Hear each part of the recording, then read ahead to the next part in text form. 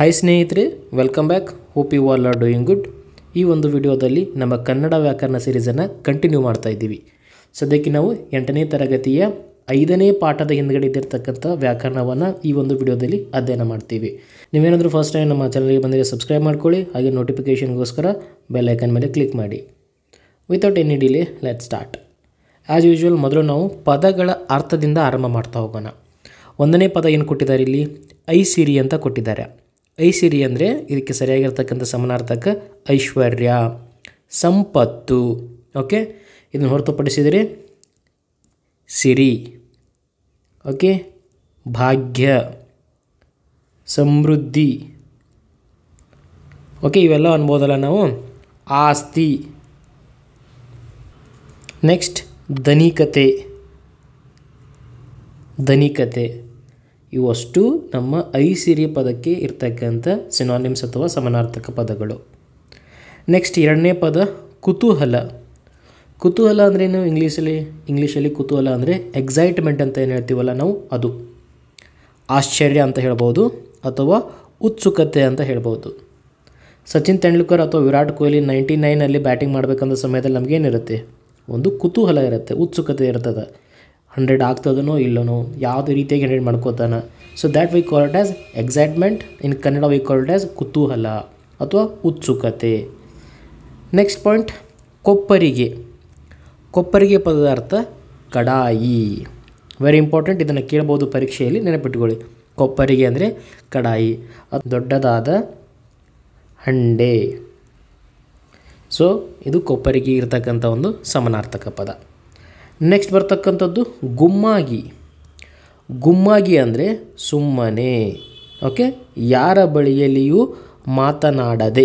ಗುಮ್ಮಾಗಿ ಅಂದರೆ ಇದಕ್ಕೊಂದು ಎಕ್ಸಾಂಪಲ್ ಮನೆಯಲ್ಲಿ ಜಗಳ ಮಾಡ್ಕೊಂಡು ಕುಂತಂಥ ಸಮಯದಲ್ಲಿ ನಮ್ಮ ಸಿಸ್ಟರ್ ಆಗಿರ್ಬೋದು ಬ್ರದರ್ ಆಗಿರ್ಬೋದು ಬಂದು ಕೇಳ್ತಾರಲ್ಲ, ಯಾಕೆ ಹಿಂಗೆ ಕುಂತಿದೆಯಾ? ಗುಮ್ ಅಂತ ಹೇಳಿ. ಗುಮ್ಮ ಇಟ್ಸ್ ನಥಿಂಗ್ ಬಟ್ ಯಾರ ಜೊತೆ ಮಾತನಾಡಲಾರದೆ ಸುಮ್ಮನೆ ಕುಳಿತುಕೊಳ್ತಕ್ಕಂಥದ್ದು. ಸರಿನಾ? ನೆಕ್ಸ್ಟ್ ಬರ್ತಕ್ಕಂಥದ್ದು ಗೋಸಾಯಿ. ಗೋಸಾಯಿ ಅಂದ್ರೆ ಏನು ದಿಸ್ ಇಸ್ ವೆರಿ ಇಂಪಾರ್ಟೆಂಟ್ ಎಕ್ಸಾಮಲ್ಲಿ ಕೇಳ್ಬೋದು ಸನ್ಯಾಸಿ ಅಥವಾ ಬೈರಾಗಿ. ನಾವೇನು ಮಾಂಕ್ ಅಂತ ಕರಿತೀವಲ್ಲ ಇಂಗ್ಲೀಷಲ್ಲಿ ಮಾಂಕ್ ಅಂದರೆ ಸನ್ಯಾಸಿ. ಓಕೆ ಅದಕ್ಕಿರ್ತಕ್ಕಂಥ ಬೇರೆ ಬೇರೆ ಅಲ್ಟರ್ನೇಟಿವ್ಸ್ ಗೋಸಾಯಿ ಅಂದರೂ ಒಂದೇ, ಬೈರಾಗಿ ಅಂದರೂ ಕೂಡ ಒಂದೇ. ವೆ ನೆಕ್ಸ್ಟ್ ತಿಕ್ಕಲು ಅಂದರೆ ಬುದ್ಧಿ ಭ್ರಮಣೆ ಹುಚ್ಚು. ಸೊ ಸಹಜವಾಗಿ ಈ ಪದ ಗೊತ್ತೇ ಇರುತ್ತೆ. ತಿಕ್ಕಲು ಹಿಡ್ದಂಗೆ ಹಿಂಗೆ ಯಾಕೆ ಮಾಡ್ತಾ ಇದೆಯಾ? ಹುಚ್ಚು ಹಿಡಿದಿರೋ ಹಾಗೆ ಯಾಕೆ ಮಾಡ್ತಾ ಇದೆಯಾ? ನಿನಗೇನಾದರೂ ಬುದ್ಧಿ ಭ್ರಮಣೆ ಆಗಿದೆಯಾ? ಸೊ ಸಹಜವಾಗಿ ನಮ್ಮ ಆಡು ಜೀವನದಲ್ಲಿ ಬರ್ತಕ್ಕಂಥ ಪದ. ಇದರ ಬಗ್ಗೆ ಎಕ್ಸ್ಪ್ಲನೇಷನಿನ ಅವಶ್ಯಕತೆ ಇಲ್ಲ. ನೆಕ್ಸ್ಟ್ ದಾದೇರು ಅಂದರೆ ಸೇವಕಿಯರು. ಸರಿನಾ? ಮುಂದಿನ ಪದ, ದಿರಿಸು. ವೆರಿ ಇಂಪಾರ್ಟೆಂಟ್ ದಿರಿಸು ಕೇಳಬಹುದು ವಸ್ತ್ರ, ಬಟ್ಟೆ ಕ್ಲಾತ್ ಓಕೆ ದಿರಿಸು ಪದಕ್ಕೆ ಇರ್ತಕ್ಕಂಥ ಸಮಾನಾರ್ಥಕ ಪದಗಳು ವಸ್ತ್ರ ಮತ್ತು ಬಟ್ಟೆ. ಮೊಗ ಮೊಗ ಅಂದರೆ ಬೊಗಸೆ ತುಂಬ. ಬೊಗಸೆ ತುಂಬ. ಯಾರಿಗಾದರೂ ದಾನ ಮಾಡಬೇಕಾದ ಸಮಯದಲ್ಲಿ ಬೊಗಸೆ ತುಂಬ ಕಾಳುಗಳನ್ನು ದಾನ ಮಾಡಬೇಕು. ರೈಟ್ ಈ ರೀತಿ ಹೇಳ್ತಾ ಇರ್ತಾರಲ್ಲ? ದಟ್ ಇಸ್ ನಥಿಂಗ್ ಬಟ್ ಮೊಗೆ. ನೆಕ್ಸ್ಟ್ ಬರೋದು ಮೋರಿ. ಮೋರಿ ಅಂದರೆ ಚರಂಡಿ, ಗಟಾರ ಗೊತ್ತಿದೆ ನಿಮಗೆಲ್ಲ. ಯಥಾಸ್ಥಿತಿ ಅಂದರೆ ಆ್ಯಸ್ ಯೂಸುವಲ್ ಮೊದಲ ಸ್ಥಿತಿಗೆ ಮರಳು ಮರಳುವುದು. ಓಕೆ ಇವತ್ತು ಚಿನ್ನಸ್ವಾಮಿ ಕ್ರೀಡಾಂಗಣದಲ್ಲಿ ಅತಿಯಾಗಿ ಮಳೆಯಾಗಿದೆ. ಐದು ಗಂಟೆ ಮೂವತ್ತು ನಿಮಿಷಕ್ಕೆ. ನೆಕ್ಸ್ಟ್ ಆರು ಗಂಟೆ ಅನ್ನುವಷ್ಟರಲ್ಲಿ ಗ್ರೌಂಡ್ ಯಥಾಸ್ಥಿತಿಗೆ ಮರಳಿದೆ. ಓಕೆ ಮೊದಲು ಇದ್ದ ರೀತಿ ಅಂತ ಅರ್ಥ ಬರ್ತದೆ. ರೈಟ್ ಯಥಾಸ್ಥಿತಿ ಅಂತ ನೋಡಿದರೆ. ಆಮೇಲೆ ಸಂಭ್ರಮ.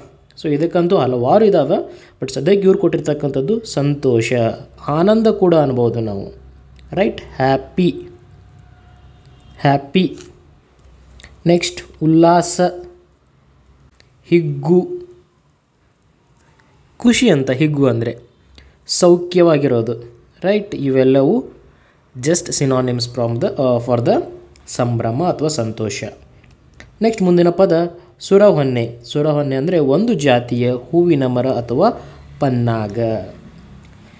ಎಕ್ಸಾಮಲ್ಲಿ ಇವೆಲ್ಲವೂ ಇಂಪಾರ್ಟೆಂಟ್ ಪ್ರಮುಖವಾಗಿ ಇವುಗಳ ನೆನ್ಪಿಟ್ಕೊಳ್ಳಿ. ಯಾವ್ಯಾವುದು? ಗೋಸಾಯಿ ಸನ್ಯಾಸಿ, ಇದನ್ನು ನೆನ್ಪಿಟ್ಕೊಳ್ಳಿ ಕೇಳ್ಬೋದು ಗುಮ್ಮಾಗಿ ಅಂದರೆ ಸುಮ್ಮನೆ ಅಥವಾ ಯಾರ ಜೊತೆ ಮಾತನಾಡದೇ ಇರತಕ್ಕಂಥದ್ದು. ಆ್ಯಂಡ್ ಈ ಸಂಭ್ರಮ, ಸಂತೋಷ ಅಂತ ಏನು ಹೇಳಿದ್ನಲ್ಲ, ಈ ಸಂತೋಷಕ್ಕೆ ಸಂಬಂಧಪಟ್ಟಿರ್ತಕ್ಕಂಥ ಬೇರೆ ಬೇರೆ ಸಮಾನಾರ್ಥಕಗಳನ್ನು ಕೂಡ ನೀವು ನೆನಪಿಟ್ಕೊಳ್ಳಿ. ಅವುಗಳನ್ನು ಎಕ್ಸಾಮಲ್ಲಿ ಎಕ್ಸಾಮಿನರ್ ಟಾರ್ಗೆಟ್ ಮಾಡ್ಬೋದು. So this is all about ಶಬ್ದಕೋಶ. ಐದನೇ ಪಾಠದ ಹಿಂದ್ಗಡೆ ಬಂದಿರತಕ್ಕಂಥ ಶಬ್ದಕೋಶ. Next as usual we are going to Kannada ವ್ಯಾಕರಣ. ಏನೇನು ಕೊಟ್ಟಿದ್ದಾರೆ? ಸೈದ್ಧಾಂತಿಕ ಭಾಷಾಭ್ಯಾಸವನ್ನು ಅಧ್ಯಯನ ಮಾಡ್ತಾ ಹೋಗೋಣ. ಸೈದ್ಧಾಂತಿಕ ಭಾಷಾಭ್ಯಾಸ. ಅವರು ಇಲ್ಲಿ ಆರಂಭ ಮಾಡಿರ್ತಕ್ಕಂಥದ್ದು ನಾಮವಾಚಕಗಳಿಂದ. Okay they have started it from ನಾಮವಾಚಕ. ನಾಮವಾಚಕದಲ್ಲಿ ಹಲವಾರು ವಿಧಗಳನ್ನು ನೋಡ್ತೀವಿ. ಯಾವ್ಯಾವುದು? ವಸ್ತುವಾಚಕ, ಗುಣವಾಚಕ, ಸಂಖ್ಯಾವಾಚಕ ಸಂಖ್ಯೇಯ ವಾಚಕ ಇವುಗಳ ಅರ್ಥವನ್ನು ನಾನು ಹೇಳ್ತೀನಿ. ಬಟ್ ಸದ್ಯಕ್ಕೆ ಯಾವ್ಯಾವ ವಿಧ ಇದಾವಂತಷ್ಟು ನೋಡ್ತಾ ಹೋಗೋಣ. ರೈಟ್ ಭಾವನಾಮ, ಪರಿಮಾಣವಾಚಕ, ದಿಗ್ವಾಚಕ, ಸರ್ವನಾಮ. ಓಕೆ ಇವುಗಳಲ್ಲಿ ಕೆಲವೊಂದಿಷ್ಟು ಯಾವ ಥರ ಇದ್ದಾವೆ ಅಂದರೆ ಜಸ್ಟ್ ನೀವು ಹೆಸರುಗಳನ್ನು ನೋಡಿದರೆ ಸಾಕು. ಏನು ಮಾತಾಡ್ತಾ ಇದ್ದೀವಿ, ಆ ಟಾಪಿಕ್ ಎದ್ದು ರಿಲೇಟೆಡ್ ಇದೆ ಅಂತ ನಾವು ಈಸಿಲಿ ಅರ್ಥ ಮಾಡ್ಕೋಬೋದು. ಫಾರ್ ಎಕ್ಸಾಂಪಲ್ ಸಂಖ್ಯಾವಾಚಕ ಅಂದರೆ ಸಂಖ್ಯೆಗಳ ಬಗ್ಗೆ ಮಾತನಾಡ್ತಾ ಇರ್ತೀವಿ. ಗುಣವಾಚಕ ಅಂದರೆ ಗುಣಗಳ ಬಗ್ಗೆ ಮಾತಾಡ್ತಾ ಇರ್ತೀವಿ. ವಸ್ತುವಾಚಕ ಅಂದರೆ ವಸ್ತುಗಳ ಬಗ್ಗೆ ರೈಟ್ ಎಕ್ಸಾಂಪಲ್ ನೋಡೋಣ. ನಮಗೆ ತುಂಬಾ ಈಸಿಲಿ ಅಂಡರ್ಸ್ಟ್ಯಾಂಡ್ ಆಗ್ತದೆ. ಸೊ ಫಸ್ಟ್ ಯಾವ್ದು ನೋಡ್ತಾ ಇದ್ದೀವಿ? ವಸ್ತುವಾಚಕ. ಸೊ ಹೆಡ್ಡಿಂಗ್ ಈಸ್ ವಸ್ತುವಾಚಕ. ಈ ವಸ್ತುವಾಚಕದಲ್ಲಿ ಅವರು ಚೇತನವುಳ್ಳ ಮತ್ತು ಚೇತನವಿಲ್ಲದ ಅಂತ ಎರಡು ಟೈಪ್ ಮಾಡಿದ್ದಾರೆ. ಓಕೆ ವಸ್ತುಗಳ ಹೆಸರುಗಳನ್ನು ಹೇಳುವ ಪದಗಳೇ ವಸ್ತುವಾಚಕಗಳು ವಸ್ತುಗಳಂದರೆ ಯಾವುದು? ನಮ್ಮ ಕಣ್ಣಿಗೆ ಕಾಣ್ತಕ್ಕಂಥ ಎಲ್ಲವೂ ವಸ್ತುಗಳೇ. ಟೇಬಲ್, ಕುರ್ಚಿ, ಪೆನ್ನು, ಪುಸ್ತಕ ರೈಟ್ ಮೊಬೈಲ್, ಚಾರ್ಜರ್, ಎಮ್ಮೆ, ಎತ್ತು, ಕತ್ತೆ, ಹಾವು ಎಲ್ಲವೂ ಏನು ವಸ್ತುಗಳ ಒಂದು ಕ್ಯಾಟಗರಿಯಲ್ಲಿ ಬರ್ತಕ್ಕಂಥದ್ದು. ಅವುಗಳಲ್ಲಿ ಚೇತನವುಳ್ಳವು ಯಾವುವು, ಚೇತನವಿಲ್ಲದವು ಯಾವ ಅಂತ ನೋಡ್ತಾ ಹೋಗೋಣ. ಇಲ್ಲಿ ಅವರು ಚೇತನವುಳ್ಳಕ್ಕೆ ಕೆಲವೊಂದಿಷ್ಟು ಎಕ್ಸಾಂಪಲ್ ಕೊಟ್ಟಿದ್ದಾರೆ. ಮನುಷ್ಯ ಅಂದರೆ ನಾವು, ಪ್ರಾಣಿ, ಪಕ್ಷಿ ಓಕೆ ಇವೆಲ್ಲವೂ ಏನಪ್ಪ, ಚೇತನವುಳ್ಳ ಅಂತಂದರೆ ನೀವು ಯಾವ ರೀತಿ ನೆನ್ಪಿಟ್ಕೋಬೇಕಂದ್ರೆ ಜೀವ ಇರ್ತಕ್ಕಂಥವು ಅಂತ ನೆನ್ಪಿಟ್ಕೋಬೇಕು. ಓಕೆ ಜೀವ ಇರ್ತಕ್ಕಂಥವು ಎಲ್ಲವೂ ಚೇತನವುಳ್ಳ. ಜೀವ ಇರದೇ ಇರತಕ್ಕಂಥವು ಚೇತನವಿಲ್ಲದ. ಜೀವ ಇರದೇ ಇಲ್ಲದಕ್ಕೆ ಎಕ್ಸಾಂಪಲ್ ಏನು? ನಮ್ಮ ನೆಲ ಆಗಿರ್ಬೋದು, ಜಲ, ಬೆಟ್ಟ, ಮನೆ, ಕಾಯಿ ರೈಟ್ ಸೊ ಈ ರೀತಿಯಾಗಿ ಯಾವುದು ಜೀವ ಇರ್ತದ ಅದು ಚೇತನ ಇದ್ದಿರ್ತಕ್ಕಂಥದ್ದು. ಜೀವ ಇರದೇ ಇರೋದು ಚೇತನವಿಲ್ಲದ. ಸೊ ಇವಾಗ ಏನು ಮಾತಾಡಿದ್ದೀವಿ ನಾವು ಇದು? It is in a top level view ಯಾವ ರೀತಿಪ್ಪ ಅಂದ್ರೆ ಒಂದು ಎಕ್ಸಾಂಪಲ್ ಕೊಡ್ತೀನಿ ನೋಡಿ. ಇವಾಗ ನಮ್ಮ ಇಂಡಿಯನ್ ಕ್ರಿಕೆಟ್ ಟೀಮ್ ಇದೆ. ಅಲ್ಲಿ ಎಷ್ಟು ಜನ ಇದ್ದಾರೆ? ಟಾಪ್ ಲೆವೆಲಲ್ಲಿ ಹೇಳ್ತೀವಿ ನಾವು ಹನ್ನೊಂದು ಜನ ಇದ್ದಾರೆ ಅಂತ ಹೇಳ್ತೀವಿ. ಓಕೆ ಈ ರೀತಿ ಟಾಪ್ ಲೆವೆಲ್ ಆಯಿತು. ನೆಕ್ಸ್ಟ್ ಅದರ ಒಳಗಡೆ ಹೋಗಿ ಅಧ್ಯಯನ ಮಾಡಬೇಕು. ಒಳಗಡೆ ಹೋಗಿ ಅಂದರೆ ಯಾವ ಥರ ಆ ಹನ್ನೊಂದು ಜನರಲ್ಲಿ ಬ್ಯಾಟ್ಸ್ಮನ್ ಎಷ್ಟು ಜನ ಇದ್ದಾರೆ? ಬೌಲರ್ಸ್ ಎಷ್ಟು ಜನ ಇದ್ದಾರೆ ವಿಕೆಟ್ ಕೀಪರ್ ಯಾರಿದ್ದಾರೆ ರೈಟ್, ಆಲ್ರೌಂಡರ್ ಯಾರಿದ್ದಾರೆ ಈ ಥರ ವಿಭಾಗಗಳನ್ನು ಮಾಡಿದ್ದೀವಿ. ಹಾಗೆ ನಮ್ಮ ವಸ್ತು ವಸ್ತುವಾಚಕಗಳಲ್ಲಿ ಕೂಡ ವಿಭಾಗಗಳನ್ನು ಮಾಡಿದ್ದಾರೆ ಎಕ್ಸಾಮಿನ ಟಾರ್ಗೆಟ್ ಮಾಡ್ತಕ್ಕಂಥ ಪಾಯಿಂಟ್ ಇದೇ ಆಗಿರ್ತದೆ. ಓಕೆ ನಿಮಗೆ ವಸ್ತುವಾಚಕ ಅಂದರೆ ಏನು ಅಂತ ಡೆಫಿನೇಷನ್ ಯಾರೂ ಕೇಳಲ್ಲ ಪರೀಕ್ಷೆಯಲ್ಲಿ. ನೋಡ್ತಾ ಹೋಗೋಣ, ಏನಪ್ಪ ಅಂತ ಅದರ ಪರ್ಟಿಕ್ಯುಲರ್ ಮೀನಿಂಗ್ಸ್ಗಳನ್ನು ಮೊದಲೇದಾಗಿ, ರೂಢನಾಮ. ರೂಢನಾಮ, ನೀವು ಡೆಫಿನೇಷನ್ ಓದೋಕ್ಕಿಂತ ಮುಂಚೆ ಒಂದು ಪದ ನೆನಪಿಟ್ಕೊಳ್ಳಿ. ಏನಂತ ಅಂದರೆ ಜನರಲ್ ಸೊ ರೂಢನಾಮದಲ್ಲಿ ನಾವು ಏನೇ ಮಾತಾಡಿದರೂ ಜನರಲ್ಲಾಗಿ ಮಾತಾಡ್ತೀವಿ. ಇಲ್ಲಿ ಕೊಟ್ಟಿದ್ದಾರೆ ನೋಡಿ. ರೂಢಿಯಿಂದ ಬಂದಿರತಕ್ಕಂಥವೆಲ್ಲವೂ ರೂಢನಾಮಗಳು. ಏನು ಕೊಟ್ಟಿದ್ದಾರೆ ಎಕ್ಸಾಂಪಲ್ಸ್ ನದಿ, ಪರ್ವತ, ಮನುಷ್ಯ, ಹೆಂಗಸು, ಮರ, ದೇಶ. ಸೊ ಇವೆಲ್ಲವೂ ರೂಢನಾಮಕ್ಕೆ ಉದಾಹರಣೆ. ಯಾಕೆ? ಸೊ ನದಿ ಅನ್ನೋದು ನಾವು ಜನರಲಾಗಿ ಮಾತಾಡ್ತಕ್ಕಂಥದ್ದು. ನದಿ ಅಂತ ಬಂದಾಗ ನದಿ ಒಳಗಡೆ ಎಷ್ಟು ವೆರೈಟಿ ಇದ್ದಾವೆ ಸಾವಿರಾರು ನದಿಗಳಿದ್ದಾವೆ ಫಾರ್ ಎಕ್ಸಾಂಪಲ್ ಗಂಗಾ ನದಿ ಇದೆ ಕಾವೇರಿ ನದಿ ಇದೆ, ಕೃಷ್ಣಾ ನದಿ ಇದೆ ರೈಟ್ ತುಂಗಭದ್ರಾ ನದಿ ಇದೆ, ಬ್ರಹ್ಮಪುತ್ರ ಇದೆ. ಓಕೆ ಸಾವಿರಾರು ನದಿಗಳಿದ್ದಾವೆ ಒಂದ ಎರಡ ಅಲ್ವಾ? ಸೊ ಬಟ್ ನಾವೇನು ಹೇಳ್ತಾ ಇದ್ದೀವಿ, ಆ ಎಲ್ಲ ನದಿಗಳನ್ನು ಒಂದು ಗುಂಪಿಗೆ ಮಾಡ್ತಾ ಇದ್ದೀವಿ ಟಾರ್ಗೆಟ್ ಒಂದು ಜನರಲಾಗಿ ಮಾತಾಡ್ತಾ ಇದ್ದೀವಿ, ನದಿ ಅಂತ ಹೇಳಿಬಿಟ್ಟು. ಸೊ ಅದಕ್ಕೋಸ್ಕರ ಈ ರೀತಿ ಜನರಲ್ ಕಾನ್ಸೆಪ್ಟ್ಸ್ ಕಾನ್ಸೆಪ್ಟ್ಸ್ ಬಂದರೆ ಅದು ರೂಢನಾಮ. ಇನ್ನೊಂದು ಎಕ್ಸಾಂಪಲ್ ನೋಡಿ ಇಲ್ಲಿ, ಪರ್ವತ. ಪರ್ವತಗಳು ಎಷ್ಟಿದೆ ಅವು ಕೂಡ ಸಾವಿರಾರು ಇದ್ದಾವೆ ಹಿಮಾಲಯ ಪರ್ವತ ಇದೆ. ರೈಟ್ ಮನುಷ್ಯ. ಸೊ ಇಲ್ಲೂ ಕೂಡ ಜನರಲ್ ಆಗಿ ಮಾತಾಡ್ತಾ ಇದ್ವಿ. ಮನುಷ್ಯ ಅಂದರೆ ಯಾರು ಬೇಕಾದರಾಗಿರ್ಬೋದು? ನಾನಾಗಿರ್ಬೋದು, ನೀವಾಗಿರ್ಬೋದು ರೈಟ್ ರಮೇಶ್ ಆಗಿರ್ಬೋದು, ಸುರೇಶ್ ಆಗಿರ್ಬೋದು, ಕಾವ್ಯ ಆಗಿರ್ಬೋದು, ಚೇತನ್ ಆಗಿರ್ಬೋದು, ಯಾರು ಬೇಕಾದರಾಗಿರ್ಬೋದು. ಬಟ್ ನಾವು ಜನರಲ್ ಆಗಿ ಏನು ಹೇಳ್ತಾ ಇದ್ದೀವಿ? ಮನುಷ್ಯ ಅಂತ ಹೇಳ್ತಾ ಇದ್ದೀವಿ. ನೆಕ್ಸ್ಟ್ ಹೆಂಗಸು ಅಂತ ಹೇಳ್ತಾ ಇದ್ದೀವಿ. ಹೆಂಗಸು ಅಂದರೆ ಯಾರು ಬೇಕಾದರಾಗಿರ್ಬೋದು? ಅಲ್ಲಿ ಮಲ್ಲಮ್ಮ, ಕಲ್ಲಮ್ಮ ರೈಟ್ ಪವಿತ್ರ, ಕಾವ್ಯ, ಜ್ಯೋತಿ, ಯಾರು ಬೇಕಾದರೂ ಆಗಿರ್ಬೋದು ಹೆಂಗಸ್ರು ಅಂತ ನೋಡಿದಾಗ. ಬಟ್ ನಾವಿಲ್ಲಿ ಟಾಪ್ ಲೆವೆಲ್ ಹೆಂಗಸು ಅಂತ ಮಾತ್ರ ಕನ್ಸಿಡರ್ ಮಾಡ್ತಾ ಇದ್ದೀವಿ. ಮರ ಅಂತ ಬಂದರೆ that is also as usual ಬೇವಿನ ಮರ ಆಗಿರ್ಬೋದು, ಮಾವಿನ ಮರ ಆಗಿರ್ಬೋದು, ಅಲ್ವಾ? ಆಲದ ಮರ ಆಗಿರ್ಬೋದು, ಯಾವ್ದು ಬೇಕಾದರೂ ಆಗಿರ್ಬೋದು. ನಾವೇನು ಮಾತಾಡ್ತಾ ಇದ್ದೀವಿ? Again the word general is very very important whenever is is we talk about high level are in in that we call it as ರೂಢನಾಮ ಹೆಸರಲ್ಲೇ ಇದೆ, ರೂಢಿಯಿಂದ ಬಂದಿರತಕ್ಕಂಥ ನಾಮಗಳೆಲ್ಲವೂ ರೂಢನಾಮ. ನೆಕ್ಸ್ಟ್ ದೇಶ ವೆರಿ ಮಚ್ ಕ್ಲಿಯರ್ ಆಗ್ತದೆ? ದೇಶ ಅಂತಕ್ಕಂಥದ್ದನ್ನು ನಾವು ಜನರಲ್ ಆಗಿ ಹೇಳ್ತಾ ಇದ್ದೀವಿ. ಈ ದೇಶ ಒಂದರಲ್ಲಿ ನೂರಾರು ದೇಶಗಳನ್ನು ನೋಡ್ಬೋದು ನಾವು. ಭಾರತ ನೋಡಬಹುದು, ಶ್ರೀಲಂಕಾ ನೋಡಬಹುದು, ಅಮೇರಿಕಾ ನೋಡಬಹುದು, ಫ್ರಾನ್ಸ್ ನೋಡಬಹುದು, ಆಸ್ಟ್ರೇಲಿಯಾ ನೋಡಬಹುದು, ಕೆನಡಾ ನೋಡಬಹುದು, ಸೌತ್ ಆಫ್ರಿಕಾ ನೋಡ್ಬೋದು. ಕ್ಲಿಯರ್ ಆಯಿತು. ವಾಟ್ ಈಸ್ ರೂಢನಾಮ ಅಂತ ಹೇಳಿ. ನೆಕ್ಸ್ಟ್ ಬರ್ತಕ್ಕಂಥದ್ದು ಅಂಕಿತನಾಮ. ಅಂಕಿತನಾಮ ಅಂದರೆ ತುಂಬ ಸಿಂಪಲ್ ಇಟ್ಟಂಥ ಹೆಸರುಗಳು ಅಂತ ನೆನಪಿಟ್ಕೋಬೇಕು ನೀವು. ಇಟ್ಟಂಥ ಹೆಸರುಗಳು. ಸೊ ನಾವಾಗೇ ಒಂದು ಇಟ್ಟಿರ್ತಕ್ಕಂಥ ಹೆಸರುಗಳು ಇವು. ಏನಪ್ಪ? ರಮೇಶ್, ಸುರೇಶ್, ಇವೆಲ್ಲವೂ ನಾವಾಗಿ ಇಟ್ಟಿರ್ತಕ್ಕಂಥ ಹೆಸರು. ಕಮಲ. ರೈಟ್ ಅದೇ ರೀತಿ ಕೊಟ್ಟಿದ್ದಾರೆ ಇಲ್ಲಿ ನೋಡಿ. ವ್ಯವಹಾರಕ್ಕಾಗಿ ಅಥವಾ ಗುರುತಿಸಲು ಇಟ್ಟ ಹೆಸರುಗಳಾದ ಕಾವೇರಿ, ನಕುಲ, ಹಿಮಾಲಯ, ಶಂಕರ, ಬೆಂಗಳೂರು, ಬೇವು ಮುಂತಾದ ಹೆಸರುಗಳೇ ಅಂಕಿತ ನಾಮಗಳು. ಇಲ್ಲಿ ಕಾವೇರಿ ಅಂತ ಕೊಟ್ಟಿದ್ದಾರೆ. ಕಾವೇರಿ ಅಂತಕ್ಕಂಥದ್ದು ನದಿ. ಓಕೆ? ಹಲವಾರು ನದಿಗಳು ಅಂದರೆ ಜನರಲಾಗಿ ಮಾತಾಡ್ತಾ ಇದ್ರಂದೆ ನದಿ ಅಂತ ಕಾನ್ಸೆಪ್ಟ್ ಬಂದರೆ ಅದು ರೂಢನಾಮ. ಪರ್ಟಿಕ್ಯುಲರ್ ಹೆಸರು ಹೇಳಿದರೆ ಅದು ಅಂಕಿತನಾಮ ಓಕೆ? ಗಂಗಾ ಅಂತ ಕೊಟ್ಬಿಟ್ಟು ಇದು ಯಾವ ನಾಮಪದ ಅಂತ ಕೇಳಿದ ಯಾವ ನಾಮವಾಚಕ ಅಂತ ಕೇಳಿದರೆ ಅಂಕಿತ ನಾಮ ಅಂತ ಹೇಳ್ತೀವಿ ನಾವು. ಯಾಕಂದರೆ ಗಂಗಾ ಅಂತ ಪರ್ಟಿಕ್ಯುಲರ್ ಆಗಿ ಹೇಳ್ತಾ ಇದ್ದಾರೆ. ಗಂಗಾ ನದಿ ಅಂತ ಹೇಳಿ. ಜಸ್ಟ್ ಅವರು ನದಿ ಅಂತ ಕೊಟ್ಟಿದ್ರೆ ರೂಢನಾಮ ಅಂತ ಹೇಳ್ತಾ ಇದ್ವಿ. ಅದೇ ರೀತಿಯಾಗಿ ಅವರು ಹೆಂಗಸು ಅಂತ ಕೊಟ್ಟರೆ ನಾವು ರೂಢನಾಮ ಅಂತೇವಿ. ಬಟ್ ಪರ್ಟಿಕ್ಯುಲರ್ ಹೆಸರು ಕೊಟ್ರೆ ಅಂದ್ಕೊಳ್ಳಿ ಅವರಲ್ಲಿ. ಅಲ್ಲೊಂದು ಯಾವುದೋ ಒಂದು ಹೆಸರು, ಕಮಲ ಅಂತ ಹೆಸರು ಕೊಟ್ರೆ ಅಂದ್ಕೊಳ್ಳಿ ಅವಾಗ ಏನಾಯ್ತದು? ಪರ್ಟಿಕ್ಯುಲರ್ ಒಬ್ಬ ವ್ಯಕ್ತಿಯ ಬಗ್ಗೆ ಮಾತನಾಡ್ತಾ ಇದ್ದೀವಿ. ಓಕೆ ಪರ್ಟಿಕ್ಯುಲರಾಗಿ ಮಾತಾಡ್ತಾ ಇದ್ದೀವಿ. ಸೊ ಜನರಲ್ ಅಂತ ಬಂದರೆ ರೂಢನಾಮ ಪರ್ಟಿಕ್ಯುಲರ್ ಅಂತ ಬಂದರೆ ಅಂಕಿತನಾಮ. ಈ ವರ್ಡ್ಸ್ಗಳನ್ನು ನೆನಪಿಟ್ಕೋಬೇಕು ನೀವು ಇಂಗ್ಲೀಷಲ್ಲಿ ಸೊ ಈಸಿಲಿ ಐಡೆಂಟಿಫೈ ಮಾಡೋಕ್ಕೆ ಸಹಾಯ ಆಗುತ್ತೆ ಎಕ್ಸಾಮಲ್ಲಿ ಓಕೆ ರಿಪೀಟಿಂಗ್ ಅಗೇನ್ ರೂಢನಾಮ ಅಂದರೆ ಜನರಲ್ ಮಾತಾಡ್ತೀವಿ. ಪರ್ಟಿಕ್ಯುಲರ್ ಆಗಿ ಮಾತಾಡಿದ್ರಿ ಅದು ಅಂಕಿತನಾಮ. ರೈಟ್ ಎಕ್ಸಾಂಪಲ್ಸ್ ಕೂಡ ನೋಡಿದ್ದೀವಿ ನಿಮಗೆ ಕ್ಲಿಯರ್ ಕೂಡ ಆಯಿತು. ಮುಂದೆ ಬರ್ತಕ್ಕಂಥದ್ದು ಯಾವುದು? ಅನ್ವರ್ತನಾಮ. ಅನ್ವರ್ತನಾಮ ಅಂದ್ರೇನು ಅರ್ಥಕ್ಕೆ ಅನುಗುಣವಾಗಿ ರಚನೆಯಾದ ವ್ಯಾಪಾರಿ, ವಿದ್ವಾಂಸ, ರೋಗಿ ಮುಂತಾದ ಪದಗಳೇ ಅನ್ವರ್ತನಾಮಗಳು. ಸೊ ಇವೇನಾಗ್ತವೆ ಅಂದರೆ ಅರ್ಥಕ್ಕೆ ತಕ್ಕಂತೆ ಬಂದಿರತಕ್ಕಂಥ ಪದಗಳು. ಓಕೆ ಯಾರು ವ್ಯಾಪಾರವನ್ನು ಮಾಡ್ತಾ ಇರ್ತಾರ, ಅವರಿಗೆ ವ್ಯಾಪಾರಿ ಅಂತೇಳಿ ಕರಿತೀವಿ. ಯಾರು ರೋಗಗ್ರಸ್ತರಾಗಿರ್ತಾರ, ಅವರಿಗೆ ರೋಗಿ ಅಂತೇಳಿ ಕರಿತೀವಿ. ಯಾರಿಗೆ ನಡೀಲಿಕ್ಕೆ ಆಗೋದಿಲ್ಲ, ಅವರಿಗೆ ಕುಂಟ ಅಂತೇಳಿ ಕರಿತೀವಿ. Okay ಹೇಳವ it is also an example ಅದೇ ರೀತಿಯಾಗಿ ವಿದ್ವಾಂಸ. ಸೊ ಅರ್ಥಕ್ಕೆ ತಕ್ಕಂತೆ ಬಂದಿರತಕ್ಕಂಥ ಪದಗಳನ್ನು ನಾವು ಅನ್ವರ್ತನಾಮ ಅಂತೇಳಿ ಕರಿತೀವಿ. ನೆಕ್ಸ್ಟ್ ಕುರುಡ ತಗೊಳ್ಳಿ. ಅದು ಕೂಡ ಒಂದು ಅನ್ವರ್ತನಾಮಕ್ಕೆ ಉದಾಹರಣೆ. ಕುರುಡ. ಕುರುಡ ಅನ್ನೋದೇನಾದರೂ ಅಂಕಿತನಾಮ ಆಗುತ್ತೆ, ಇಟ್ಟಂತ ಹೆಸರಾಗ್ತದನ ಕುರುಡ ಇಲ್ಲ. ಅರ್ಥಕ್ಕೆ ಅನುಗುಣವಾಗಿ ಬಂದಿರತಕ್ಕಂಥದ್ದು ಇದು. ಅವನಿಗೆ ಕಣ್ಣು ಕಾಣಲ್ಲ, ಅದಕ್ಕೆ ಅವನಿಗೆ ಕುರುಡ ಅಂತ ಬಂತು. ಅವನಿಗೆ ಕಾಲಿಲ್ಲ, ಅದಕ್ಕೆ ಅವನಿಗೋಸ್ಕರ ಅವನಿಗೆ ಕುಂಟ ಅಂತ ಬಂತು. ರೈಟ್ ಹೀಗೆ ಬರ್ತಕ್ಕಂಥವುಗಳಿಗೆ ನಾವು ಅನ್ವರ್ತನಾಮಗಳು ಅಂತೇಳಿ ಕರಿತೀವಿ. ನೆಕ್ಸ್ಟ್ ಹೆಡ್ಡಿಂಗ್ ಗುಣವಾಚಕಗಳು. ಹೆಸರೇ ಹೇಳ್ತಾ ಇದೆ, ಗುಣವಾಚಕ ಅಂದರೆ ನಮಗೆ ಇಲ್ಲಿ ಗುಣದ ಬಗ್ಗೆ ಪರ್ಟಿಕ್ಯುಲರಾಗಿ ಮಾತನಾಡುತ್ತೇವೆ. ವಸ್ತುಗಳ ಗುಣ, ರೀತಿ, ಸ್ವಭಾವಗಳನ್ನು ಹೇಳುವ ವಿಶೇಷಣಗಳೇ ಗುಣವಾಚಕಗಳು. ಗುಣ ಅಂದರೆ ಏನು? Consider it is like an adjectives ಅಂತ ನೀವು ಅರ್ಥ ಮಾಡ್ಕೊಳ್ಳಿ. ವರ್ಣಿಸತಕ್ಕಂಥವೆಲ್ಲವೂ ಒಂದು ಗುಣವಾಚಕಕ್ಕೆ ಸೇರ್ಕೋತಾವ. ಒಳ್ಳೆಯ, ಅವನು ಒಳ್ಳೆಯ ಹುಡುಗ. ಆ ಹುಡುಗ ಯಾವ ಥರ ಅದಾನಂತ ಹೇಳ್ತಾ ಇದ್ದೀವಿ? ಅವನ ಗುಣ ಒಳ್ಳೆಯ ಹುಡುಗ ಅಂತ ಹೇಳ್ತಾ ಇದ್ದೀವಿ. ಸೊ ಒಳ್ಳೆಯ ಅನ್ನೋದು ಗುಣವಾಚಕ. ಅವನು ತುಂಬ ಕೆಟ್ಟ ವ್ಯಕ್ತಿ ಒಬ್ಬ ವ್ಯಕ್ತಿ ಇದಾನ? ಆ ವ್ಯಕ್ತಿ ಯಾವ ಥರ ಇದ್ದಾನೆ ಅಂದ್ರೆ ತುಂಬ ಕೆಟ್ಟವನಾಗಿದ್ದಾನ. ಅವನ ಗುಣ ಯಾವ ಥರ ಇದೆ? ಕೆಟ್ಟದಾಗಿದೆ. ರೈಟ್ ಹೊಸದು. ಓಕೆ ಅಲ್ಲಿ ಏನು ಕಟ್ಟಿದಾರಲ್ಲ ಆ ಮನೆ, ಅದು ಹೊಸದು. ಆ ಮನೆ ಬಗ್ಗೆ ಹೇಳ್ತಾ ಇದ್ದೀವಿ ನಾವು, ಹೊಸದಾಗಿ ರಚನೆ ಆಗಿರ್ತಕ್ಕಂಥದ್ದು. ನೆಕ್ಸ್ಟ್ ದೊಡ್ಡದು. ಎಪಿಲ್ ಟವರ್ ತುಂಬ ದೊಡ್ಡದಾಗಿದೆ.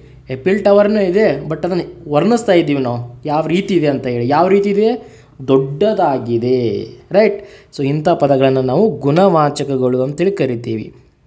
ಏನು ಮಾಡ್ತಾವೆ ಇವು? ಸಿಂಪಲಾಗಿ ನೆನ್ಪಿಟ್ಕೋಬೇಕಂದ್ರೆ ಡಿಸ್ಕ್ರೈಬ್ ಮಾಡ್ತಾವ, ಹೊಗಳ್ತಾವ, ಜಾಸ್ತಿ ವಿವರಣೆ ಕೊಡ್ತಾವ ಆ ಪದದ ಬಗ್ಗೆ. ಒಳ್ಳೆಯ ಹುಡುಗ. ಹುಡುಗ ಹೆಂಗದನ? ಒಳ್ಳೆಯವದನ ಆ ರೀತಿ. ಹೊಗಳಿಕೆಗಳನ್ನು ಅಥವಾ ಆ ಹುಡುಗನ ಬಗ್ಗೆ ಎಕ್ಸ್ಟ್ರಾ ಇನ್ಫಾರ್ಮೇಷನ್ ಕೊಡೋದು ಜಾಸ್ತಿ. ಆ ಥರ ಬಂದರೆ ಅದು ಗುಣವಾಚಕ. ನೆಕ್ಸ್ಟ್ ನೋಡೋಣ, ಸಂಖ್ಯಾವಾಚಕ. It is quite very simple ಸಂಖ್ಯಾವಾಚಕ ಅಂದರೆ ಸಂಖ್ಯೆಗಳನ್ನು ಸೂಚಿಸುವ ಪದಗಳೇ ಸಂಖ್ಯಾವಾಚಕಗಳು. ಎಕ್ಸಾಂಪಲ್ ಸಿಂಪಲ್ ಆಗಿದೆ. ಒಂದು, ಎರಡು, ಮೂರು, ನಾಲ್ಕು, ಐದು, ಹತ್ತು, ನೂರು, ಸಾವಿರ, ಕೋಟಿ ರೈಟ್ ಐದುನೂರ ಐವತ್ತೈದು, ಆರುನೂರ ಅರವತ್ತಾರು. ಏನೇ ತೆಗೆದುಕೊಳ್ಳಿ, ಸಂಖ್ಯೆಗಳೇ ಬಂದರೆ ಅದು ಸಂಖ್ಯಾವಾಚಕ ಆಗಿರ್ತದೆ. ನೆಕ್ಸ್ಟ್ ಬರೋದು ಸಂಖ್ಯೆಯ ವಾಚಕ ಸಂಖ್ಯಾವಾಚಕ ಮತ್ತು ಸಂಖ್ಯೆಯ ವಾಚಕಗಳ ಮಧ್ಯೆ ಸ್ವಲ್ಪ ನಾವು ಕನ್ಫ್ಯೂಷನ್ ಮಾಡ್ಕೋಬಾರ್ದು ಕ್ಲಿಯರ್ ಆಗಿರಬೇಕು. ಜಸ್ಟ್ ಮೂರು ಅಂತ ಬರೆದ್ರೆ ಅಂದ್ಕೊಳ್ಳಿ ಜಸ್ಟ್ ನಂಬರ್ ಮೂರು ಅಂತ ಬರೆದ್ರೆ ಅದು ಸಂಖ್ಯಾವಾಚಕ. ಮೂವರು ಅಂತ ಬಂದರೆ ಅಂದ್ಕೊಳ್ಳಿ ಅದು ಸಂಖ್ಯೆಯ ವಾಚಕ ನಾಲ್ಕು ಅಂತ ಬರೆದ್ರೆ ಸಂಖ್ಯಾವಾಚಕ. ನಾಲ್ಕನೆಯ ಅಂತ ಬರೆದ್ರೆ ಸಂಖ್ಯೆಯ ವಾಚಕ ಓಕೆ ಐದು ಅಂತ ಬರೆದ್ರೆ ಒಂದು ಸಂಖ್ಯೆ ಜಸ್ಟ್ ಸಂಖ್ಯಾವಾಚಕ. ಐವರು ಅಥವಾ ಐದನೆಯ ಅಂತ ಬಂದರೆ ಸಂಖ್ಯೆಯ ವಾಚಕ. ಸೊ ಅದನ್ನೇ ಕೊಟ್ಟಿದ್ದಾರೆ ಇಲ್ಲಿ. ಮೂವರು ಮಕ್ಕಳು, ನಾಲ್ಕನೆಯ ತರಗತಿ, ಐವರು ರಾಜಭಟರು. ಇಪ್ಪತ್ತೆರಡನೆಯ ತಾರೀಕು. ಯ ಯ ಯ ಸೇರ್ತಾ ಹೋಗ್ತಾ ಇರ್ತದೆ. ಸಂಖ್ಯೆಯ ಮುಂದುಗಡೆ ಜಾಸ್ತಿ ಟೈಮಲ್ಲಿ ಯ ಸೇರ್ತಾ ಹೋಗ್ತಾ ಇರ್ತದೆ. ಓಕೆ ಸಂಖ್ಯೆಯಿಂದ ಕೂಡಿರುವ ವಸ್ತುಗಳನ್ನು. ಇಲ್ಲಿ ಮಕ್ಕಳು ಅಂತಿದೆ. ಅವ್ರು ಎಷ್ಟಿದಾರಂತ ಅಥವಾ ಹೇಳೋ ಸಲುವಾಗಿ ಈ ಮೂವರು ಅಂತಕ್ಕಂಥ ಪದವನ್ನು ಜೋಡಣೆ ಮಾಡ್ಕೊಂಡಿದ್ದೀವಿ. ಅದನ್ನು ಹೇಳ್ತಾ ಇದ್ದಾರೆ ಇಲ್ಲಿ. ಸಿಂಪಲಾಗಿ ಹೇಳ್ಬೇಕಂದ್ರೆ ಜಸ್ಟ್ ನಂಬರ್ಸ್ ಬಂತ ಬಂದಿದೆ ಅಂದ್ಕೊಳ್ಳಿ ನಾಲ್ಕು, ಐದು, ಆರು, ಏಳು. ಸಂಖ್ಯಾವಾಚಕ ಹಾಕಿ. ನಾಲ್ಕನೆಯ, ಐದನೆಯ, ಆರನೆಯ, ಐವರು, ಮೂವರು ಈ ರೀತಿ ಬಂತಂದರೆ ಸಂಖ್ಯೆಯ ವಾಚಕ ನೆಕ್ಸ್ಟ್ ಇರ್ತಕ್ಕಂಥದ್ದು ಪರಿಮಾಣವಾಚಕ. ಪರಿಮಾಣವಾಚಕ ಹೆಂಗೆ ನೆನಪಿಟ್ಕೋಬೇಕಪ್ಪ? It is a kind of measurement. ಇಲ್ಲೇನಾಗ್ತದೆ ಅಂದರೆ ಅಳತೆ ಆಗ್ತಾ ಇರ್ತದೆ. ಓಕೆ, ಆ ರೀತಿ ಅರ್ಥ ಮಾಡ್ಕೋಬೇಕು. ಅಷ್ಟು ದೊಡ್ಡ ಮರವನ್ನು ಹೇಗೆ ಕಡಿದರು? ಇಷ್ಟು ಜನರು ಇಲ್ಲಿ ಸೇರಿ ಏನು ಮಾಡುತ್ತಿದ್ದಾರೆ? ಇಲ್ಲಿ ಪದಗಳನ್ನು ಗಮನಿಸಿ. ಯಾವುದು? ಅಷ್ಟು. ರೈಟ್? ಅಷ್ಟು. ಅಷ್ಟು. ಇಷ್ಟು. ಸೊ ಇಲ್ಲೇನಾಗ್ತಾ ಇದೆ? ಅ ಕೈಂಡ್ ಆಫ್ ಮೇಜರ್ಮೆಂಟ್ ಒಂದು ಅಳತೆ ಗೊತ್ತಾಗ್ತಾ ಇದೆ. ಎಕ್ಸ್ ಪರಿಮಾಣ. ಹೆಸರಲ್ಲೇ ಇದೆ. ಗೊತ್ತಿರಬೇಕು ನಿಮಗೆ. ಪರಿಮಾಣ ಅಂದರೆ ಅ ಕೈಂಡ್ ಆಫ್ ಮೇಜರ್ಮೆಂಟ್ ಅಂತ ಹೇಳಿಬಿಟ್ಟು. Right a kind of measurement ಹೀಗೆ ವಸ್ತುವಿನ ಪರಿಮಾಣ ಗಾತ್ರವನ್ನು ಹೇಳುವ ಅಷ್ಟು ಇಷ್ಟು ಹಲವು ಕೆಲವು ಎನಿತು ಅನಿತು ಆಸು ಈಸು ಏಸು ಮುಂತಾದ ಪದಗಳೇ ಪರಿಮಾಣವಾಚಕಗಳು. ನೋಡಿ ಇಲ್ಲಿ ಹಲವಾರು ಎಕ್ಸಾಂಪಲ್ಗಳಿದ್ದಾವೆ ಅಷ್ಟು, ಇಷ್ಟು, ಹಲವು, ಕೆಲವು. ಹಲವು ಅಂದಾಕ್ಷಣ ನಿಮ್ಗೆ ಗೊತ್ತಾಯಿತು. ಓಕೆ ಸ್ವಲ್ಪ ಇದ್ದಾವೆ ಎಷ್ಟು ಅಂತ ಗೊತ್ತಿಲ್ಲ. ಅಲ್ವಾ? ಇಲ್ಲಿ ನೋಡಿ, ಕೆಲವು ಇದಕ್ಕೊಂದು ಎಕ್ಸಾಂಪಲ್ ನೋಡಿ, ಕೊಡ್ತೀನಿ ನೋಡಿ. ಕೆಲವು ಜನ ಸೇರಿಕೊಂಡು ಆ ಮಹಿಳೆಯ ಹತ್ಯೆ ಮಾಡಿದರು. ಕೆಲವು ಜನ, ಅಂದರೆ ಸ್ವಲ್ಪ ಜನ ಇದ್ದಾರೆ ಕೌಂಟ್ ಹೇಳ್ತಾ ಇಲ್ಲ ನಾವು. ಇಬ್ಬರು ಜನ ಸೇರಿ ಅವಳ ಹತ್ಯೆ ಮಾಡಿದರು, ಮೂವರು ಜನ ಸೇರಿ ಅವಳ ಹತ್ಯೆ ಮಾಡಿದರು, ಆ ಥರ ಹೇಳ್ತಾ ಇಲ್ಲ. ಕೆಲವು ಜನ ಸೇರಿಕೊಂಡು ಅವಳ ಹತ್ಯೆ ಮಾಡಿದರು. ಓಕೆ ನಿರ್ದಿಷ್ಟ ಅಳತೆ ಇರೋಂಗಿಲ್ಲ ಬಟ್ ನೀವು ಮೇಜರ್ಮೆಂಟ್ ಅಂತಕ್ಕಂಥ ಪದ ನೆನಪಿಟ್ಕೊಂಡ್ರೆ ನಿಮಗೆ ಎಕ್ಸಾಮಲ್ಲಿ ಹೆಲ್ಪ್ ಆಗ್ತದೆ. ಸೊ ಅದಕ್ಕೋಸ್ಕರ ಅದರ ಮುಖಾಂತರ ನೀವು ನೆನಪಿಟ್ಕೋಬಹುದು. ನೆಕ್ಸ್ಟ್ ಒನ್ ದಿಗ್ವಾಚಕಗಳು ಹೆಸರಲ್ಲೇ ಇದೆ. ದಿಕ್ಕುಗಳನ್ನು ಸೂಚನೆ ಮಾಡಲಿಕ್ಕೆ ಬಳಸ್ತಕ್ಕಂಥವು. ದಿಕ್ಕುಗಳು ಯಾವುವು ದಿಕ್ಕುಗಳು? ಮೂಡನ ಪಡುವನ, ತೆಂಕನ, ಬಡಗನ, ಪೂರ್ವ, ಪಶ್ಚಿಮ, ಉತ್ತರ, ದಕ್ಷಿಣ, ಆಗ್ನೇಯ, ರೈಟ್, ಉತ್ತರ, ಈಶಾನ್ಯ. ಸೊ ಎಲ್ಲವೂ ಏನಪ್ಪ? ದಿಕ್ಕುಗಳು. ಅವುಗಳ ಸೂಚಿಸ್ತಕ್ಕಂಥವು. ಕೊಟ್ಟಿದ್ದಾರೆ ನೋಡಿ ಇಲ್ಲಿ. ದಿಕ್ಕುಗಳನ್ನು ಸೂಚಿಸುವ ಪದಗಳೇ ದಿಕ್ವಾಚಕಗಳು. ನೆಕ್ಸ್ಟ್ ಕಾನ್ಸೆಪ್ಟ್ ಸರ್ವನಾಮ. ವೆರಿ ಇಂಪಾರ್ಟೆಂಟ್ ಏನಪ್ಪ ಸರ್ವನಾಮ? ಒಂದು ಎಕ್ಸಾಂಪಲ್ ಕೊಡ್ತೀನಿ ನೋಡಿ ನಾನಿಲ್ಲಿ. ರಾಮನು ಅಂಗಡಿಗೆ ಹೋದನು. ಮೊದಲೇದು. ನೆಕ್ಸ್ಟ್ ರಾಮನು ಹಣ್ಣುಗಳನ್ನು ತಂದನು. ರಾಮನು ಹೊಲಕ್ಕೆ ಹೋದನು. ಸೊ ಇಲ್ಲಿ ಏನಾಗ್ತಾ ಇದೆ? ರಾಮನು ಅಂತಕ್ಕಂಥ ಪದ ಪದೇ ಪದೇ ಪುನರಾವರ್ತನೆ ಆಗ್ತಾ ಇದೆ. ರಿಪೀಟ್ ಆಗ್ತಾ ಇದೆ. ಸೊ ಈ ರೀತಿ ಹೇಳಿದರೂ ಕೂಡ ತಪ್ಪಂತೇನಲ್ಲ. ಸೊ ಬಟ್ ಕೇಳುಗರಿಗೆ ಏನಾಗ್ತದೆ ಸರಿಯಾಗಿ ಒಂದು ಅರ್ಥ ಕೊಡೋದಿಲ್ಲ ಇದು. ರಾಮನು ಬಂದನು, ರಾಮನು ಹಣ್ಣು ತಿಂದನು, ರಾಮನು ಶಾಲೆಗೆ ಹೋದನು. ಇದನ್ನು ಹೇಳೋ ಬದಲಿ ಇವಾಗ ಸ್ವಲ್ಪ ಮಾಡಿಫೈ ಮಾಡ್ತೀನಿ ನಾನು. ರಾಮನು ಶಾಲೆಗೆ ಹೋದನು, ಅವನು ಅಲ್ಲಿಂದ ಮಾರ್ಕೆಟ್ಗೆ ಹೋದನು, ನಂತರ ಅವನು ಮನೆಗೆ ಬಂದನು. ಕೇಳಕ್ಕೆ ಹಿತವಾಗಿದೆ ನಮ್ಮ ಕಿವಿಗೆ ರೈಟ್ ರಾಮನು ಅಂತಕ್ಕಂಥ ಪದವನ್ನು ಪದೇ ಪದೇ ಹೇಳದೇ ಇರೋ ಸಲುವಾಗಿ ಆ ಒಂದು ರಾಮನು ಅನ್ನುವ ಪದದಲ್ಲಿ ಸರ್ವನಾಮಗಳ ಬಳಕೆ ಮಾಡಬೇಕು. ಸೊ ಅವಾಗ ಏನಾಗ್ತದೆ? ವಾಕ್ಯ ಕೇಳಲಿಕ್ಕೆ ಹಿತವಾಗಿ ಕಂಡು ಬರ್ತದೆ ಈ ಪ್ಯಾರಾಗ್ರಾಫ್ ಓದಿದ್ರೆ ನಮ್ಗೆ ಕ್ಲಿಯರಾಗಿ ಅರ್ಥ ಆಗ್ತದೆ ಇದು. ರಾಜನ್ನ ಅಜ್ಜನ ಮನೆಗೆ ಹೊರಟನು. ಅವನ ತಮ್ಮ ಕೃಷ್ಣನು, ನಾನೂ ಬರುತ್ತೇನೆ ಎಂದನು. ತಂಗಿ ರಾಜೀವಿ, ತಾನೂ ಬರುವನೆಂದಳು. ಆಗ ರಾಜನ್ನ, ನೀವಿಬ್ಬರು ಆದಷ್ಟು ಬೇಗ ತಯಾರಾಗಿರಿ ಎಂದನು. ಸೊ ಈ ಪ, ಈ ವಾಕ್ಯವನ್ನು ಗಮನಿಸಿದಾಗ ನಿಮಗಿಲ್ಲಿ ಏನು ಕಾಣಿಸ್ತಾ ಇದೆ? ನಾನು ತಾನು, ನೀವು ಈ ರೀತಿಯಾಗಿರ್ತಕ್ಕಂಥ ಪದಗಳು ಬಂದಿದ್ದಾವೆ. ಅವರ ಹೆಸರುಗಳನ್ನು ಹೇಳಲಾರದೆ ಆ ಹೆಸರುಗಳ ಸ್ಥಳದಲ್ಲಿ ಈ ರೀತಿಯಾಗಿರ್ತಕ್ಕಂಥ ಸರ್ವನಾಮಗಳನ್ನು ಬಳಸಿದ್ದಾರೆ ಅವರು. ತಾನು, ನಾನು, ನೀವು. ಸೊ ಇದರಿಂದ ಏನಾಗ್ತದೆ? ನಮಗೆ ವಾಕ್ಯ ಕೇಳಲಿಕ್ಕೆ ಹಿತವಾಗಿ ಅನ್ನಿಸ್ತದ. ಅರ್ಥಗರ್ಭಿತ ಆಗಿದೆ ಅನ್ನಿಸ್ತದ. ರೈಟ್ ಸೊ ಹೀಗೆ ನಾಮಪದಗಳ ಸ್ಥಾನದಲ್ಲಿ ಬಂದು ಅವುಗಳ ಕಾರ್ಯವನ್ನು ನಿರ್ವಹಿಸುವ ಪದಗಳೇ ಸರ್ವನಾಮಗಳು. ಈ ಸರ್ವನಾಮಗಳನ್ನು ಯಾವ ರೀತಿ ಡಿವೈಡ್ ಮಾಡಿದ್ದಾರೆ ಅಂದರೆ ಎಕ್ಸಾಮಲ್ಲಿ ಕೇಳ್ತಾರೆ ಈ ಪಾಯಿಂಟನ್ನು ಪುರುಷಾರ್ಥಕ, ಪ್ರಶ್ನಾರ್ಥಕ, ಆತ್ಮಾರ್ಥಕ ಸರ್ವನಾಮಗಳೆಂದು ಮೂರು ವಿಭಾಗವನ್ನು ಮಾಡಿದ್ದಾರೆ ನೆನಪಿಟ್ಟುಕೊಳ್ಳಿ ಪುರುಷಾರ್ಥಕ, ಪ್ರಶ್ನಾರ್ಥಕ, ಆತ್ಮಾರ್ಥಕ. ಸೊ ನಮ್ಮ ಹೆಡ್ಡಿಂಗ್ ಮೊದಲಿಗೆ ಬರೋದು ಯಾವುದು? ಪುರುಷಾರ್ಥಕ. ಪುರುಷಾರ್ಥಕ ಸರ್ವನಾಮ ಏನು? ಅವುಗಳಲ್ಲಿ ಮೂರು ಟೈಪ್ ನೋಡ್ತೀವಿ. ಉತ್ತಮ ಪುರುಷ, ಮಧ್ಯಮ ಪುರುಷ, ಪ್ರಥಮ ಪುರುಷ. ಉತ್ತಮ ಪುರುಷದಲ್ಲಿ ಯಾವ್ದು ಬರ್ತಾ ಇದೆ? ನಾನು, ನಾವು. ಇಂಗ್ಲೀಷಲ್ಲಿ ಐ, ವಿ ಅಂತೀವಲ್ಲ? That is the one next ಬರೋದು ಮಧ್ಯಮ ಪುರುಷ. ನೀನು, ನೀವು. You you. ಟೆನ್ಸಸನ್ನು ಕಲಿಬೇಕಂತ ಸಮಯದಲ್ಲಿ ನೀವು ಅದನ್ನು ಅರ್ಥ ಮಾಡ್ಕೊಂಡಿರ್ತೀರ right I we you you he she it they ಅಂತ ಓದಿರ್ತೀರಲ್ಲ? This is the one next ಬರೋದು ಪ್ರಥಮ ಪುರುಷ ಅಥವಾ ಅನ್ಯ ಪುರುಷ. ಇದಕ್ಕೇನು ಎಕ್ಸಾಂಪಲ್ ಹೇಳಿರೋ ಹಾಗೆ ಹಿ ಸಿ ಇಟ್ ದೇ ಕನ್ನಡದಲ್ಲಿ ಅವನು, ಅವಳು, ಅದು, ಇದು. ರೈಟ್ ಇವನು ಕೂಡ ಹೌದು, ಇವಳು ಕೂಡ ಹೌದು, ಇವರು ಇವು. ಸೊ ಇವೆಲ್ಲವೂ ಏನಿದಾವಲ್ಲ, ಪ್ರಥಮ ಪುರುಷಕ್ಕೆ ಉದಾಹರಣೆ. ಇದ್ರ ಮೇಲೆ ಪ್ರಶ್ನೆ ಬರ್ತದೆ ಸೊ ನೀವು ಇಲ್ಲಿ ಕಾನ್ಸಂಟ್ರೇಟ್ ಮಾಡಲೇಬೇಕು. ಏನಂತ ಕೇಳ್ತಾರೆ? ನೀವು ಅಂತ ಕೊಟ್ಬಿಟ್ಟು ಇದು ಯಾವ ಒಂದು ಸರ್ವನಾಮ ಅಂತ ಕೇಳ್ತಾರೆ. ಸೊ ನೀವು ಅಂತ ಬಂದರೆ ಮಧ್ಯಮ ಅಂತ ನಿಮ್ಗೆ ಗೊತ್ತಿರಬೇಕು. ಚಾಟ್ ಹಾಕೊಳ್ಳಿ, ಅದರಲ್ಲಿ ಬರೀರಿ ಪ್ರಾಕ್ಟೀಸ್ ಮಾಡಿ, ಪದೇ ಪದೇ ನೆನಪುಳಿಯುತ್ತೆ. ರೈಟ್ ನೆಕ್ಸ್ಟ್ ಬರ್ತಕ್ಕಂಥದ್ದು, ಪ್ರಶ್ನಾರ್ಥಕ ಸರ್ವನಾಮ. ವೆರಿ ವೆರಿ ಇಂಪಾರ್ಟೆಂಟ್ ಹೆಸರಲ್ಲೇ ಇದೆ. ಪ್ರಶ್ನಾರ್ಥಕ ಸರ್ವನಾಮದಲ್ಲಿ ನಾವೇನು ಮಾತಾಡ್ತೀವಿ ಅಂದರೆ ಪ್ರಶ್ನೆಗಳ ಬಗ್ಗೆ ಮಾತಾಡ್ತೀವಿ. It is a kind of W H questions type ಇದು. ಇಂಗ್ಲೀಷಲ್ಲಿ ನಾವೇನಿದು ಡಬ್ಲ್ಯೂ ಎಚ್ ಕ್ವಶನ್ಸ್ ಅಂತೀವಲ್ಲ? ಸೊ ಆ ಥರ ಪ್ರಶ್ನಾರ್ಥಕ ಅಂದರೆ. ಹೆಸರಲ್ಲೇ ಇದೆ ಅಲ್ವಾ? ಪ್ರಶ್ನೆ ಅಂತ ಹೇಳಿ. ಸೊ ಯಾವುದದು ಪ್ರಶ್ನಾರ್ಥಕ ಸರ್ವನಾಮಗಳು ಅಂತ ನೋಡಿದರೆ ಯಾರು? ಕ್ವಶನ್ ಮಾಡ್ತಾ ಇದ್ದೀವಿ. ಯಾರು ಅಂತ ಹೇಳಿ. ಯಾವುದು? ಇಲ್ಲಿಯೂ ಕೂಡ ಕ್ವಶನ್ ಏನು ಅಂತ ಕ್ವಶನ್ ಯಾವನು ಅನ್ನೋದು ಕೂಡ ಕ್ವಶನ್ ಯಾವಳು? ಕ್ವಶನ್ ಸೊ ಈ ರೀತಿ ಪ್ರಶ್ನೆಗಳಿಗೆ ಸಂಬಂಧಪಟ್ಟಿರ್ತಕ್ಕಂಥ ಸರ್ವನಾಮಗಳಿದ್ದರೆ ಅದನ್ನು ಪ್ರಶ್ನಾರ್ಥಕ ಅಂತೇಳಿ ಕರಿತೀವಿ. ಯಾರು ನೀನು? ಪ್ರಶ್ನೆ ಕೇಳ್ತಾ ಇದ್ದೀವಿ ಇಲ್ಲಿ ನಾವು. ಒಬ್ಬ ವ್ಯಕ್ತಿ ಇದ್ದಾನೆ ಮುಂದ್ಗಡೆ. ಯಾರಪ್ಪ ನೀನು? ಓಕೆ? ನೆಕ್ಸ್ಟ್ ಯಾವುದು? ಅಲ್ಲಿರ್ತಕ್ಕಂಥ ನೋಟ್ಸಲ್ಲಿ ನಿನ್ನ ಪುಸ್ತಕ ಯಾವುದು? ನೆಕ್ಸ್ಟ್ ಏನು? ನಿನ್ನ ಹೆಸರು ಏನು? ರೈಟ್ ಸೊ ಈ ರೀತಿ ಪ್ರಶ್ನೆಗಳ ಬಂದರೆ ಅದಕ್ಕೆ ಪ್ರಶ್ನಾರ್ಥಕ, ಇದನ್ನು ನೀವು ಮರಿಲೇಬಾರದು. ತುಂಬಾ ಇಂಪಾರ್ಟೆಂಟ್ ಇದು. ಪ್ರಶ್ನಾರ್ಥಕ ಸರ್ವನಾಮ ಅಂದರೆ ಹಲವಾರು ಬಾರಿ ಬಂದುಬಿಟ್ಟಿದೆ ಇದು. So just concentrate here next ಬರ್ತಕ್ಕಂಥದ್ದು ಕೊನೆದಾಗ ಯಾವುದಪ್ಪ ಅಂದರೆ ಆತ್ಮಾರ್ಥಕ. ಆತ್ಮ ಅಂದರೆ ಏನು? ಮನಸ್ಸು. ಇದಕ್ಕೆ ಉದಾಹರಣೆಗಳು ಏನಂದರೆ ತಾನು, ತಾವು, ತನ್ನ, ತಮ್ಮ. ಸೊ ಇದು ಯಾವ ಥರಪ್ಪ ಅಂತ ನೋಡಿದರೆ a kind of respectful okay respect ಜಾಸ್ತಿ ಇರ್ತದೆ ಈ ಒಂದು ಪದಗಳ ಬಳಕೆ ಮಾಡಬೇಕಂತ ಸಮಯದಲ್ಲಿ. ತುಂಬಾ ರೆಸ್ಪೆಕ್ಟ್ ಕಾಣ್ತಾ ಇರ್ತದೆ. ತಾನು. ತಾವು ಯಾವರಿಂದ ಬಂದಿರೋದು? ತಮ್ಮ ಹೆಸರೇನು? ನೀವು ಈ ರೀತಿಯೂ ಕೇಳ್ಬೋದು, ನಿನ್ನ ಹೆಸರು ಏನಪ್ಪ ಅಂತಲೂ ಕೇಳ್ಬೋದು, ನಿನ್ನ ಹೆಸರೇನು? ಅದನ್ನು ಕೇಳೋದು ಹೆಂಗೆ? ತಮ್ಮ ಹೆಸರೇನು? ಸೌಮ್ಯತೆ ಜಾಸ್ತಿ ಕಂಡು ಬರ್ತದೆ ಇಲ್ಲಿ ರೈಟ್ ಏನು ಕಂಡು ಬರ್ತದೆ? ಸೌಮ್ಯತೆ. ಆತ್ಮಾರ್ಥಕ. ಸೌಮ್ಯ ಅಂದರೆ ಏನು ಸೂಕ್ಷ್ಮ ಮನಸ್ಸಿನವನು. ರೈಟ್ ಸೂಕ್ಷ್ಮ ಮನಸ್ಸು ಏನು? ಒಳ್ಳೆಯ ಮನಸ್ಸು. ಮನಸ್ಸು ಏನು? ಆತ್ಮ. ಸೊ ಆತ್ಮಾರ್ಥಕ ಅಂದರೆ ಅ ಕೈಂಡ್ ಆಫ್ ರೆಸ್ಪೆಕ್ಟ್ಫುಲ್ ಪದಗಳು ಬರ್ತಾವೆ ಇಲ್ಲಿ. ತಾನು, ತಾವು, ತನ್ನ, ತಮ್ಮ ಈ ನಾಲ್ಕು ಪದಗಳು ಗೋಲ್ಡನ್ ಪದಗಳು ನಿಮಗೆ. ಎಕ್ಸಾಮಲ್ಲಿ ಇವನ್ನೇ ಕೇಳ್ತಾರೆ. ಸೊ ಇವನ್ನ ನೀವು ನೆನಪಿಟ್ಕೊಳ್ಳಿ. ತಾನು, ತಾವು, ತನ್ನ, ತಮ್ಮ. ನೆಕ್ಸ್ಟ್ ಇಲ್ಲಿ ಕ್ವಶನ್ಸ್ಗಳನ್ನು ಕೊಟ್ಟಿದ್ದಾರೆ. ನೋಡ್ತಾ ಹೋಗೋಣ ಏನಂತ. ಮೊದಲೇದಾಗಿ ಅಂದರೆ ಏನು ಕೇಳಿದ್ದಾರೆ ಅಂದರೆ ನಾಮ ಪ್ರಕೃತಿಗಳ ವಿಧಗಳು ಯಾವುವು ಅಂತ ಕೇಳಿದ್ದಾರೆ ನಾಮ ಪ್ರಕೃತಿ ವಿಧಗಳು ಯಾವುವು ಆಲ್ರೆಡಿ ಗೊತ್ತಾಯಿತು.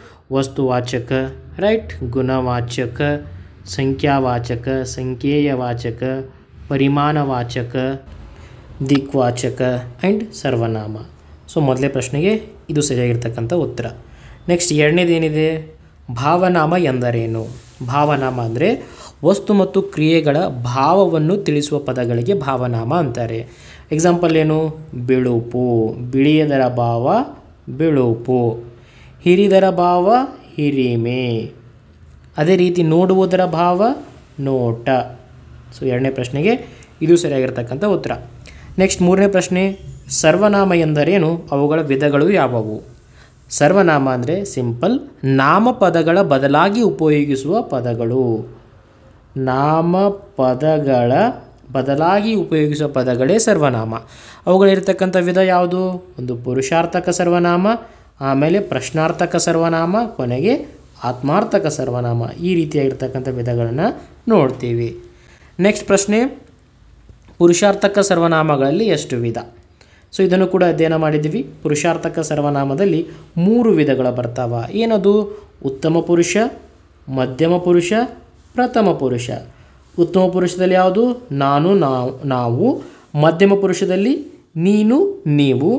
ಪ್ರಥಮ ಪುರುಷದಲ್ಲಿ ಅವನು, ಅವಳು, ಅವ, ಅದು, ಇವನು, ಇವಳು, ಇದು. ನೆಕ್ಸ್ಟ್ ಹೋಗೋಣ. ಪ್ರಾಯೋಗಿಕ ಭಾಷಾಭ್ಯಾಸ. ಏನಿದೆ ಪ್ರಶ್ನೆಯಲ್ಲಿ ಕೆಳಗೆ ಕೊಟ್ಟಿರೋ ಪದಗಳಲ್ಲಿ ರೂಢ, ಅನ್ವರ್ಥ ಮತ್ತು ಅಂಕಿತ ನಾಮಗಳನ್ನು ವಿಂಗಡಣೆ ಮಾಡಿ ಬರೆಯಿರಿ ಅಂತ ಹೇಳಿದ್ದಾರೆ ಸೊ ರೂಢನಾಮಕ್ಕೆ ಏನು ಉದಾಹರಣೆ ಆಗ್ತದೆ ಇಲ್ಲಿ? ಕಾಲ. ರೂಢಿಯಿಂದ ಬಂದಿರತಕ್ಕಂಥದ್ದು ಯಾವ ಕಾಲ? ಬೇಸಿಗೆ ಕಾಲ, ಮಳೆಗಾಲ, ಚಳಿಗಾಲ ಸೊ ಆ ರೀತಿಯಾಗಿ ಇರ್ತಕ್ಕಂಥದ್ದು ಯಾವುದು ಪರ್ಟಿಕ್ಯುಲರ್ ಆಗಿಲ್ಲ. ಜನರಲ್ ಆಗಿ ಮಾತಾಡ್ತಾ ಇದ್ದೀವಿ. ಸೊ ಕಾಲ ಅನ್ನೋದು ರೂಢನಾಮ. ಅದನ್ನು ಬಿಟ್ಟರೆ ಯಾವುದು? ದೇವಸ್ಥಾನ. ಯಾವ ದೇವಸ್ಥಾನ? ವೆಂಕಟರಮಣ ದೇವಸ್ಥಾನ, ಲಕ್ಷ್ಮೀ ದೇವಸ್ಥಾನ ರೈಟ್ ಯಾವುದಾದ್ರೂ ಪರ್ಟಿಕ್ಯುಲರ್ ಆಗಿ ಹೇಳ್ತಾ ಇದ್ದೀವೋ ನೋ ಇಲ್ಲೂ ಕೂಡ ಜನರಲ್ ಮಾತಾಡ್ತಾ ಇದ್ದೀವಿ ಸೊ ದೇವಸ್ಥಾನ ಅಂತ ಬಂದರೆ ಅದು ಕೂಡ ರೂಢನಾಮ. ನೆಕ್ಸ್ಟ್ ಬರ್ತಕ್ಕಂಥ ಪದ ಯಾವುದು? ರೂಢನಾಮಕ್ಕೆ ಅಂತ ನೋಡಿದರೆ ರಾಜ. ಯಾವ ಊರ ರಾಜ? ಮೈಸೂರ ರಾಜ, ಬೆಂಗಳೂರ ರಾಜ, ಮೈಸೂರ ರಾಜ ರೈಟ್ ವಿಜಯಪುರದ ರಾಜನೇ ಯಾವ ರಾಜ ಕೊಟ್ಟಿಲ್ಲ, ಇಲ್ಲೂ ಕೂಡ ಜನರಲ್ ಆಗಿದೆ. ಸೊ ರಾಜ ಅಂತ ಬಂದರೆ ಅದು ಕೂಡ ರೂಢನಾಮ. ಇವು ಮೂರೇ ಇರ್ತಕ್ಕಂಥದ್ದು. ನೆಕ್ಸ್ಟ್ ಕೆಟಗರಿ ಯಾವುದಪ್ಪ ಅಂತ ನೋಡಿದರೆ ಅಂಕಿತ ನಾಮ ನೋಡ್ತಾ ಹೋಗೋಣ. ಅಂಕಿತ ನಾಮ ಕಾಳಿ ಡೈರೆಕ್ಟಾಗಿ ಹೆಸರು ಕೊಟ್ಟಿದ್ದಾರೆ ಇಲ್ಲಿ. ಕಾಳಿ ಅಂತ ಹೆಸರು ಕೊಟ್ಟಿದ್ದಾರೆ. ನಾನು ಹೇಳಿದ್ನಲ್ಲ, ರಮೇಶ, ಸುರೇಶ ಪರ್ಟಿಕ್ಯುಲರ್ ಆಗಿ ಮಾತಾಡ್ತಾ ಇದ್ದೀವಿ ಅಂದರೆ ನಾವು ಅದಕ್ಕೆ ಅಂಕಿತ ನಾಮ ಅಂತ ಹೇಳ್ತಾ ಇದ್ದೀವಿ. ಓಕೆ ಕಾಳಿ ಅಂತಕ್ಕಂಥದ್ದು ಒಂದು ಹೆಸರು, ಒಬ್ಬ ವ್ಯಕ್ತಿಗೆ ಇರ್ತಕ್ಕಂಥದ್ದು. ಅದಕ್ಕೋಸ್ಕರ ಇದು ಅಂಕಿತ ನಾಮ ನೆಕ್ಸ್ಟ್ ಅಡಗೂರು ಕೂಡ ಅಂಕಿತ ನಾಮ ಅಡಗೂರು ಇಟ್ ಈಸ್ ಆಲ್ಸೋ ಪ್ಲೇಸ್ ಅಂಕಿತ ನಾಮ ನೆಕ್ಸ್ಟ್ ಉಳಿದಿರ್ತಕ್ಕಂಥದ್ದು ಯಾವುದು? ಅನ್ವರ್ತನಾಮ. ಅನ್ವರ್ತನಾಮ ಅಂದ್ರೇನು? ವ್ಯಾಪಾರದ ಅನುಕೂಲಕ್ಕೆ ತಕ್ಕಂತೆ. ಏನು ನೋಡಿದ್ದೀವಿ? ಎಕ್ಸಾಂಪಲ್ ಹೆಳವ, ಕುಂಟ, ಕುರುಡ, ವ್ಯಾಪಾರಕ್ಕೆ ತಕ್ಕಂತೆ. ಸೊ ವ್ಯಾಪಾರ ಮಾಡ್ತಕ್ಕಂಥವ್ರಿಗೆ ಏನಂತೀವಿ ನಾವು? ವ್ಯಾಪಾರಿ ಅಂತೇಳಿ ಕರಿತೀವಿ. ಸೊ ವ್ಯಾಪಾರಿ ಅನ್ನೋದು ಅನ್ವರ್ತನಾಮಕ್ಕಿರ್ತಕ್ಕಂಥ ಉದಾಹರಣೆ.